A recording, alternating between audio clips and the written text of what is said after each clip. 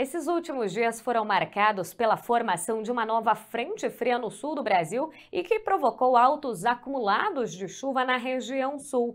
Agora, essa chuva fez a manutenção da água disponível no solo, que, aliás, já seguia mais elevada em áreas produtoras do Rio Grande do Sul, Santa Catarina e também do Paraná. Essa chuva, essa disponibilidade hídrica no solo mais elevada, acaba sim favorecendo as lavouras de inverno na região sul do Brasil. Mas agora a preocupação é com o frio. Depois do avanço da frente fria, já no finalzinho desta semana, queda acentuada na temperatura e potencial para a ocorrência de geadas na região sul do Brasil, principalmente em áreas do Rio Grande do Sul, mas também pode acontecer em Santa Catarina e no sul do Paraná, isso já na madrugada entre a quinta e a sexta-feira. No sábado, o friozinho também continua na região sul do Brasil, ou seja, novas geadas ainda podem ser registradas com temperaturas mínimas abaixo dos 3 graus.